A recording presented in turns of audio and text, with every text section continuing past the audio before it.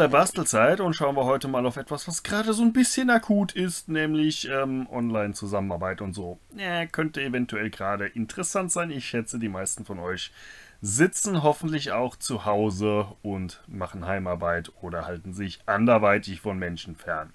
Systeme für Online-Zusammenarbeit gibt es viele. Äh, Gerade die großen Anbieter sind in den letzten Tagen ja, teilweise noch an ihre Kapazitätsgrenzen gekommen.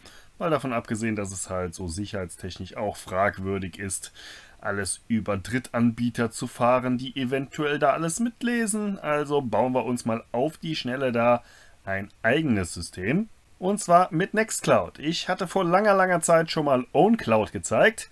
Nextcloud hat sich davon abgespaltet, ist also derselbe Grundstock, aber anderes Projekt.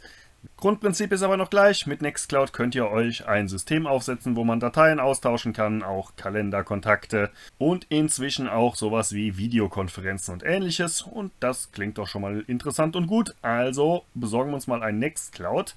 Was ihr dafür haben wollt, ist irgendeine Art von Webserver. Das kann beispielsweise irgendein Linux-Server bei euch zu Hause sein, im Zweifelsfall auch ein Raspberry Pi. Beachtet aber, wenn ihr zu Hause oder in der Firma oder sowas hostet, dass ähm, ja, ihr eventuell da etwas Bandbreite braucht. Und Bandbreite ist ja leider etwas, was in Deutschland etwas Mangelware ist. Also im Zweifelsfall nochmal checken, ob das für eure Anforderungen reicht oder ob es nötig ist, dann im Rechenzentrum einen Server zu mieten. Ist zwar nicht ideal, aber wenn man da die Platten entsprechend verschlüsselt, die Verbindungen verschlüsselt, dann ist es zumindest mal etwas abhörsicherer, als da einfach auf irgendwelche Public-Dienste zurückzugreifen. Ich habe mir schon mal einen entsprechenden Server geklickt. Der ist, wie wir hier sehen, auch schon mit einem SSL-Zertifikat. Das geht zum Beispiel per Let's Encrypt relativ einfach. Wenn ihr da Hilfe braucht, einfach mal gucken. Ich glaube, da hatte ich auch schon mal was zu gemacht. Ganz normaler Webserver mit PHP und MySQL bzw. MariaDB dahinter. Und da soll jetzt Nextcloud drauf. Also Download Server und dann kriegen wir hier eine ZIP-Datei der aktuellen Version. Bei der Aufnahme hier ist das die 1802. Und wenn wir da reinschauen, da haben wir jede Menge Verzeichnisse und Dateien. Die müssen wir jetzt irgendwie auf den Webserver hochladen. Ich mache das jetzt hier lokal, weil ich auf dem Server eine Textkonsole habe. Geht aber auch, wenn ihr irgendwie einen anderen Zugang habt, zum Beispiel SFTP oder sowas. Das heißt also auch bei Shared Hosting müsste das, zumindest davon ausgehend, dass die Module da sind, wahrscheinlich noch funktionieren. Soweit, so gut. Machen wir einmal Refresh hier und wie wir sehen, wir sollen ja also ein Admin-Konto anlegen. Tun wir das doch mal. Benutzername Bernd, Passwort das Brot. Naja, passables Passwort. Passt schon. Dann fragt er, wo das Datenverzeichnis ist. Er macht es jetzt hier einfach ins Unterverzeichnis Data. Wichtig, das muss für den Webserver schreibbar sein. Bei einigen Anbietern muss man da also mit CH-Mod oder Rechtsklick-Eigenschaften die Schreibrechte noch für den Webserver setzen. Müsst ihr dann gucken, ist je nach Anbieter unterschiedlich. In meinem Fall gehören die Dateien einfach dem Webserver-User, da passt das. Last but not least, Datenbank-Benutzer, Passwort, Name und Loglost ist schon eingetragen. Da kommt es dann wieder drauf an, ihr könnt auf der Konsole zum Beispiel eine neue Datenbank anlegen, ihr könnt mit PHP-MyAdmin eine neue Datenbank anlegen. Oder je nachdem, wenn ihr ein Shared Hosting habt, gibt es auch eigene Sachen von den jeweiligen Anbietern. Ich lege jetzt hier gerade einmal etwas an mit PHP-MyAdmin, erstelle eine passende Datenbank mit Rechten. Und die können wir dann dafür nutzen. Sieht gut aus. Dann gehen wir Datenbankbenutzer Nextcloud hatte ich den genannt, das Passwort und der Name Nextcloud. Das ist der Name der Datenbank, Localhost passt. Als letztes fragt er uns hier noch, ob empfohlene Apps installiert werden sollen. Das betrifft Kalender, Kontakte, Talk, Mail und OnlyOffice. Alle davon werden wir wahrscheinlich nicht brauchen, aber Talk ist zum Beispiel die Videokonferenz, Kalender kann durchaus Sinn machen, OnlyOffice, mal gucken. Ich lasse deswegen mal drin. So, Installation abschließen. Das kann jetzt je nach Geschwindigkeit eures Servers etwas dauern. Nextcloud ist nicht unbedingt ein leichtgewichtiges System, aber in den meisten Fällen sind die Sachen, die lange dauern, eher bei Wartungen oder wenn man wirklich größere Aktionen macht, so im alltäglichen Gebrauch, hält sich's meistens noch etwas in Grenzen. Nach der Installation kommt automatisch eine kleine Einführung hier. Kann man wegklicken, kann man durchklicken, je nachdem, was für euch interessant ist. Da wird nochmal grob erklärt, was Nextcloud ist, wo man die Apps findet für Windows, für Linux, für macOS sowie Android und iPhone, beziehungsweise auch iPad natürlich. Und über diese Apps kann man Dateien synchronisieren. Außerdem ist es auch möglich, Kalender und Kontakte zu synchronisieren, wer sowas benötigt. Ja, genug. Starten wir mit Nextcloud und hier so sieht das Ganze erstmal aus. Wir sind aktuell im Dateireiter, der ist hier oben und hier können wir die aktuellen Dateien sehen, die wir gespeichert haben mit unserem Benutzer. Wir haben ja im Moment uns als Administrator, beziehungsweise wir haben uns ja Bernd genannt, angemeldet. Das sind einfach ein paar Demo-Dateien, README, eine Anleitung, ein paar Demo-Fotos. Wenn wir das nicht brauchen, können wir sie einfach hier markieren und dann auch natürlich löschen und später dann unsere eigenen Dateien hier reinsetzen. So, Dateien sind eine Sache, wir interessieren uns aber ja eher darauf, wie wir remote zusammenarbeiten können. Das heißt erstmal, wir sollten uns um Apps kümmern. Wir haben ja eben schon gesehen, Talk ist eigentlich zuständig für die Videokonferenzen und so. Die sehe ich jetzt noch nicht. Also gucken wir mal hier in der App-Liste und sagen aktivieren, sodass wir auch diese Funktion zur Verfügung haben. Okay, das sieht besser aus. Hier oben haben wir jetzt ein zusätzliches Symbol. Und was wir noch tun sollten, ist eventuell Benutzer anlegen. Denn ja, alleine telefonieren macht eventuell keinen Sinn. Vielleicht habt ihr noch mehr Mitarbeiter. Man kann auch Gäste einladen. Also nicht jeder, der teilnehmen soll, benötigt hier direkt einen Zugang. Aber wenn ihr Leute habt, die auch selber Sachen machen sollen, dann könnt ihr hier über dieses Benutzerinterface neue anlegen. Standardmäßig sind das dann normale Benutzer. Ihr könnt denen auch hier ein Kontingent, irgendwie darf nur x Gigabyte verwenden, äh, zuweisen. Oder ihr könnt sagen, okay, der ist auch Admin, sodass er auch Benutzer anlegen darf und ähnliches. So, wie arbeiten wir jetzt also zusammen? Nun, das erste, was wir machen können, das ist Dateien teilen. Ich lade mal gerade einfach ein bisschen was hoch. So, das geht hier oben dann über Datei hochladen oder neuer Ordner.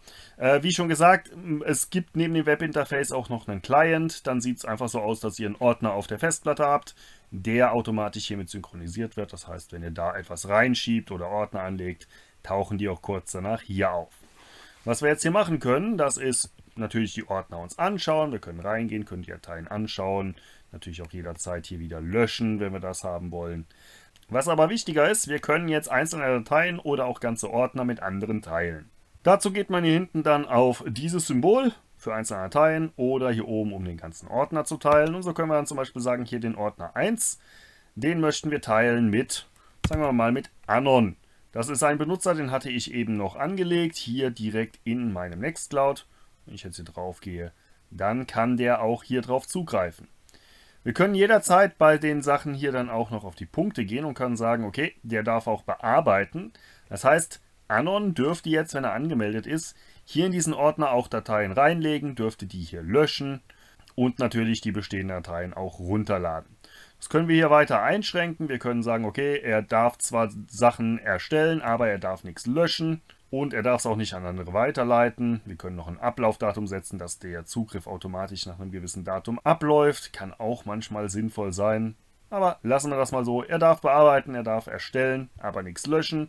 Und ja, nur bis zum 12.03. Wobei, naja, das ist eventuell etwas knapp. Aber bis zum 1. April.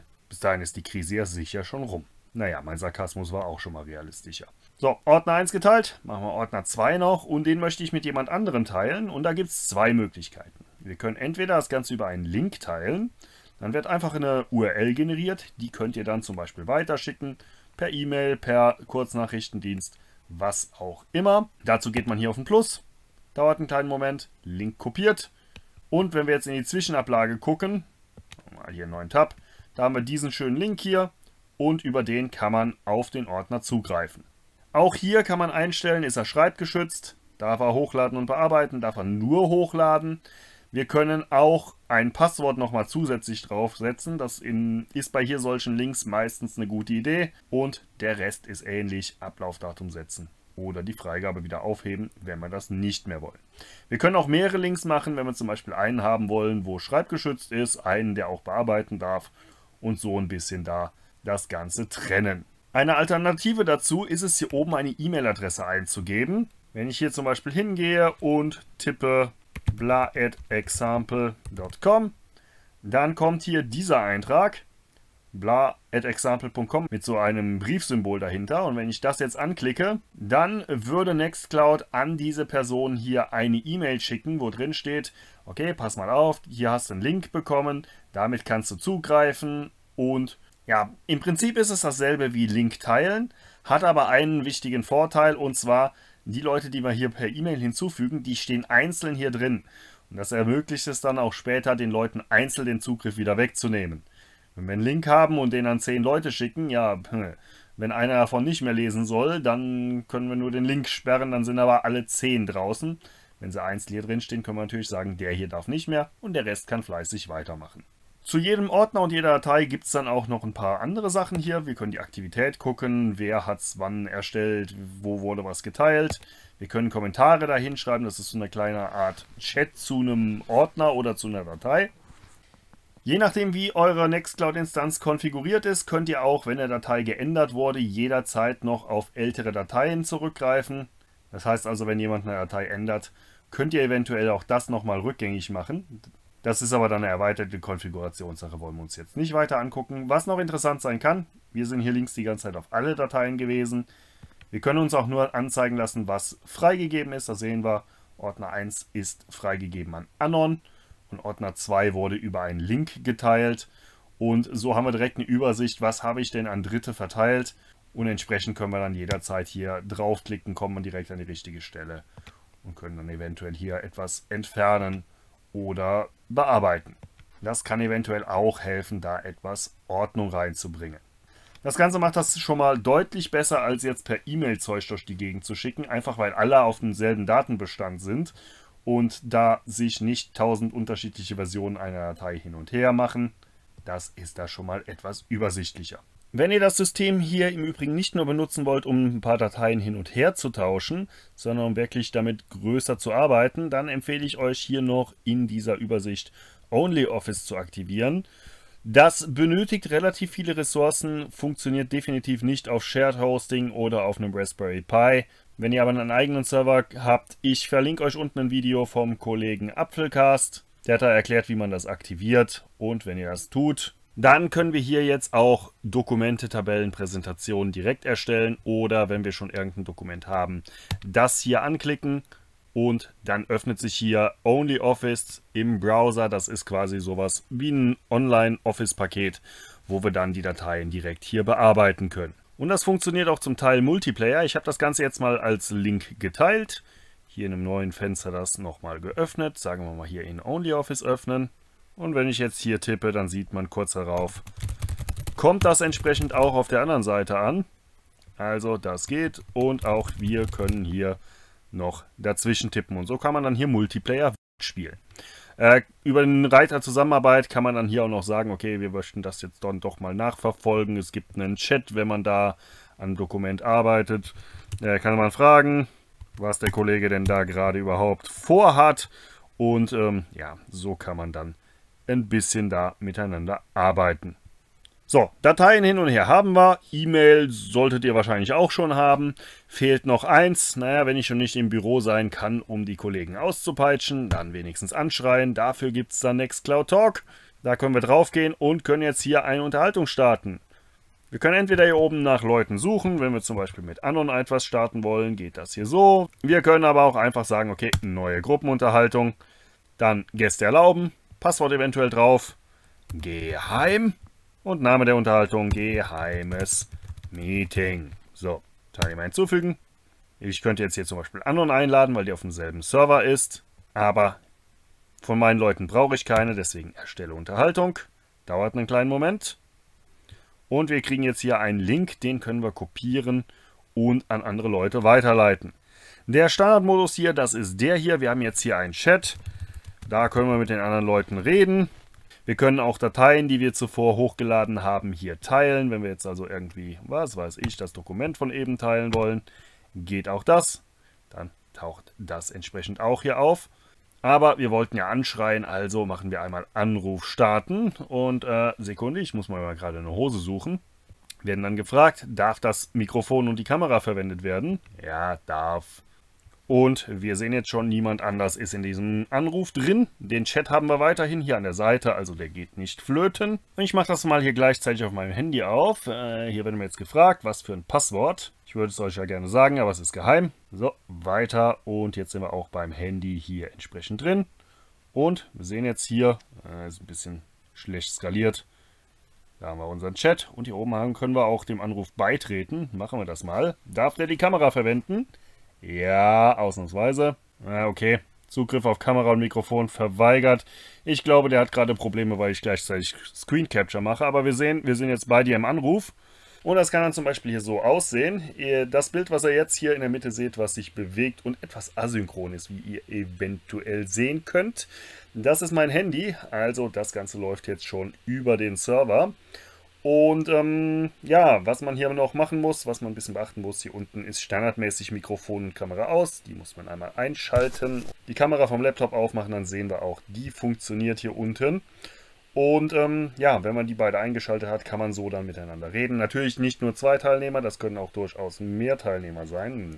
Hier dran gewöhnen, ans Handy zu gucken oder so.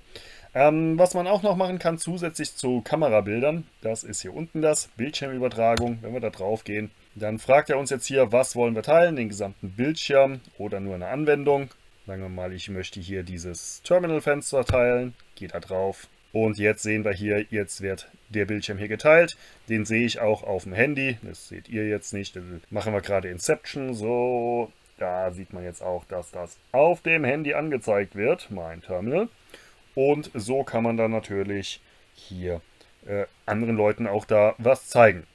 Äh, was meines Wissens nicht funktioniert, was viele andere Produkte haben, ist, es gibt, glaube ich, keine Möglichkeit, jemand anderem da den Zugriff zu gewähren, sodass man einen anderen den PC steuern lassen kann. Aber äh, in den meisten Fällen reicht es ja.